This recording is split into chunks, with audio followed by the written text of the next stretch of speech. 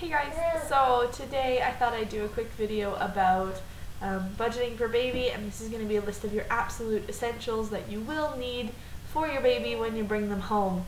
Um, this list, I've seen a lot of lists on YouTube and on the internet that have a lot of really superfluous stuff on them and I have a baby right beside me so if he starts making noises and you hear noises it's because there's babies.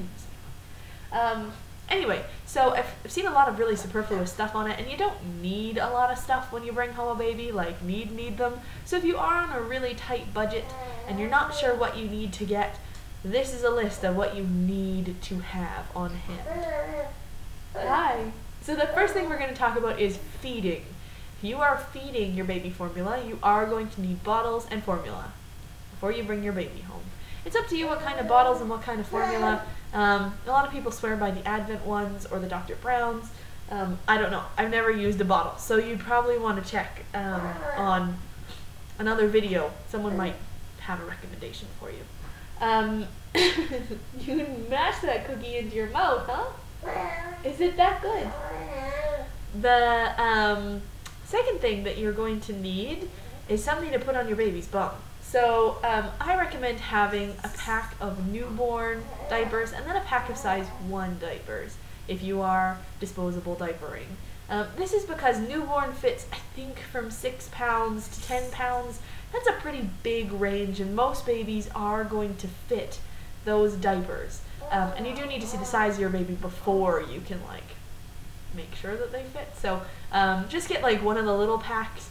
Even if your baby is 9 pounds and you have this pack of newborns, no worries because newborns go through about 12 diapers a day because they poop, literally, every time they eat. So um, make sure you do have one pack of diapers on hand at least, and you might want to invest in a size 1 as well. If, however, you're like me and you're doing cloth diapers, make sure all your cloth diapers are prepped and ready. Um, and I still did have some newborn diapers on hand because um, well, number one, my son was a preemie, so well, kind of, he's preemie sized. He was like 37 weeks. Um, but I don't like meconium. Meconium's disgusting. It's like tar, and so it was just easier to have a couple disposable diapers. He went through the meconium over the first couple days in that, and then he was into his cloth. So, um, hi, hi, boo boo. So anyway, that's a good idea to have.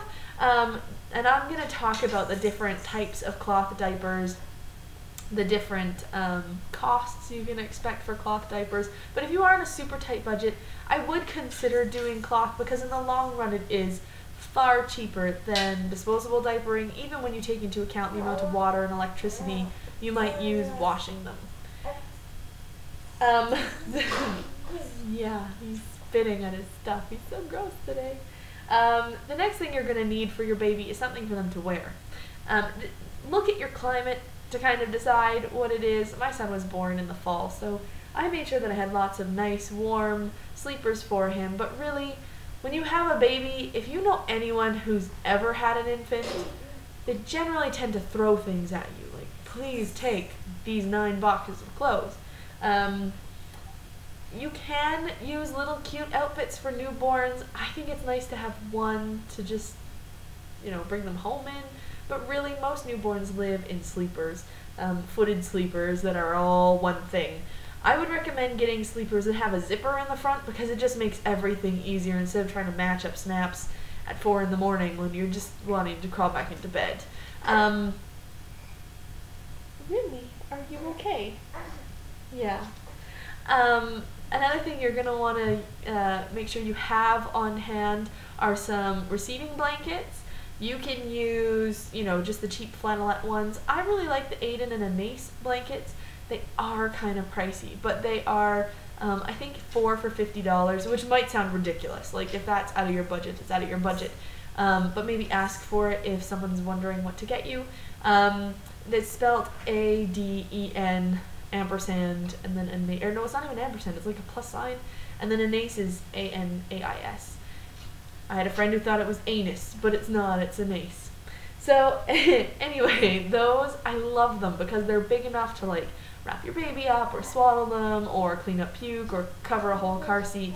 Um, and I just I like that they're kind of breathable. They're um, muslin, so they're um, they're they're they're quite porous. So the baby can even have have it like on their face, and there's still oxygen flowing through them.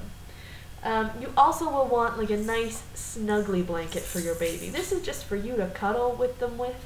Um, I just think that it's a good idea to have because I have kids, or at least my daughter, is very attached to her blankets. She's not a big stuffed animal kid, but she loves her blanket. And it's this blanket that she's had since she was about one.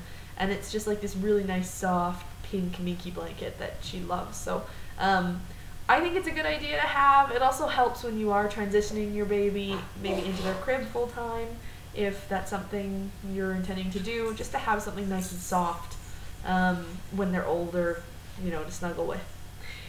Speaking of sleeping arrangements, this is going to differ based on who you are or what you are intending to do.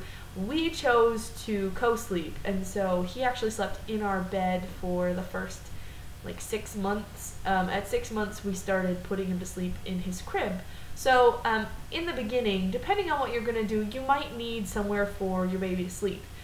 Um, we did have a crib, but it was given to us by my husband's sister-in-law or no, my husband's stepsister, my sister-in-law, and um, we did have a little bassinet that I got for ten dollars off a swap and buy. Uh, it was just like a little Moses basket. It was fantastic for the first like six months. That Moses basket it lasted us really well.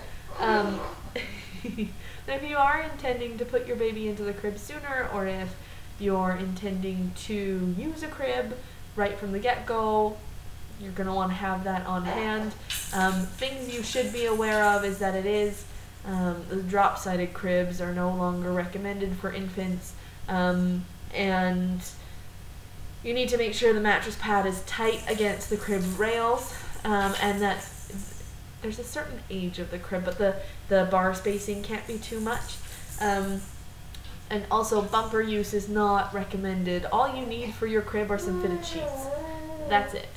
Um, hi. And the very last thing that you will definitely need, at least if you live in Canada, is you will need a car seat. Um, I believe this is across Canada, but um, you're not allowed to leave the hospital with your baby unless you have a car seat. So um, do make sure you have one. As far as what kind of car seat to get, it's kind of a lie that you need to get a certain brand or that certain brands are better than others. All the brands are tested. All the brands need to conform to safety regulations. There might be some extra bells and whistles in some of them, um, but really they all need to like pass their safety tests um, in order to be sold. So, um, so do get a car seat. Buy your car seat new. Do not buy a used car seat because you, even if you know that person really well, there's always that chance that it has been in an accident, even if it's just the slightest bump. Thank you for spitting. Um, and so, yeah, do make sure you buy it new. Um, and it, other than that, it's kind of up to you as far as what brands you want to get or what fancy features you want. Um, the last thing that I will say is there's a few things regarding clothing that I do want to address as far as people say you need to have them, and they're really not something you need to have. The first thing, uh, people will tell you that you need to have socks. Socks are not necessary. And I don't like it when people say they are because they're really not. So, um, hi. Hi. Especially if in the beginning you're just using sleepers because they're footed, right? So the baby's feet are totally covered. Um, you can buy socks, but if you're going to buy them, don't buy those really crappy ones from Walmart that are all like fluffy and stuff. Um, I think it's a really good idea to buy bigger kid socks, like 12 months, 18 months, that look like socks. Like they're kind of thinner material. They have the defined heel and toe. Um, and then all you do is pull them up over their calf because then they don't fall off all the time um, because they're kind of attached up at the top. Are you pooping? Oh, you dropped your toy. Here you go. There you go. There's your little Ellie. Yeah. Yeah. Um, thank you. Very nice of you. Um, and then yeah, so I, I like those. You can also go for higher end socks. The brand name socks, Mex socks fit really well. But some people just don't have it in their budget to spend 12 bucks on two pairs of socks. I know I don't, but my, my mom bought them for me because she went a little crazy when she had a grandson. So, um, the other thing is a hat. Hat, it kind of depends on your climate. Now, I'm in Canada, so yes, the hat was necessary. Several hats were necessary and necessary all through winter. Um, so, babies do lose most of their body heat through their head, and they lose more heat proportionally through their head than adults. Um, however, really, if you are just hanging around your house um, or it's a really nice sunny day that's not too windy, your baby doesn't need a hat. Um, there was one more thing that I was going to say. Mm, where might be gone? Yeah, I think it's gone. So, anyway, oh, that's it, right. The last thing that people say you need and you don't, if you live in Canada like me, or the northern parts of the US or Europe, you do not need and should not buy a car seat bunting bag. Like the one that your baby is actually zipped into if you are going to be driving anywhere with that car seat. Um, this is because those compress. So when they, when you're in an accident, that chest thing, the five point harness, the chest bit is meant to break.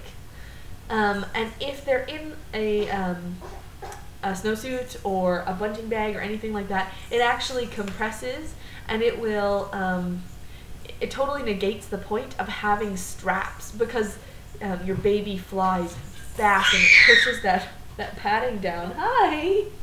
and then it just makes more space in between their straps and it's very unsafe. Babies can go like shooting out of their car seat. Um, I do own a bunting bag, but I have it because it's cold as hell here. And so, well, it's gonna be hot. It's cold as it's cold. So, um, you know, when we were going for walks, I would put him in it um, but certainly never in the car. They should just be in their regular clothes and then a blanket over top, or you can buy um, those elasticized uh, things that go over top of the car seat. Those really only work until your kid starts kicking them off. Um, and um, they also sell, but you probably find them mostly on Etsy or places like that, but they're like a car seat blanket. There's actually a tutorial somewhere on Pinterest I saw this.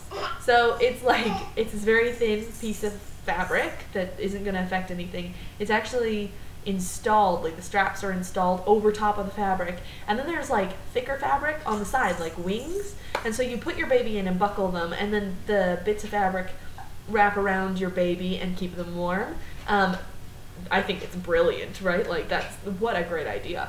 So um, get one of those maybe instead of a bunting bag. But don't, please, please do not put your baby into a car seat in a snowsuit or a bunting because it's very, very dangerous. Um, oh, the last thing that I was going to say about car, sa- car seats. I'm sorry, I worked all day. I'm trying to do a video. My brain is scattered. Car seats. Um, there's two kinds of car seats you can get for newborns. There's the bucket seat, and then there's the convertible car seat, the one that um, will change. It will grow with your baby, or you can put your newborn in it, and then it eventually becomes a toddler car seat. Um, it's really kind of up to you what you want to get. There are benefits, pros and cons for both. Pros for having the bucket seat is you can kind of carry it around with you. Hi. Cons for having the bucket seat is it really only lasts for about a year, um, or until your baby hits, I think it's 22 pounds, and then you need to change them out and into a toddler car seat. Um, pros for the toddler car seat is that it can remain rear facing for a long period of time. So even when your kid is like three, if you still want to rear face them, which I know some people do, especially if they have smaller children, um, like just build wise, uh, do that, like no problem.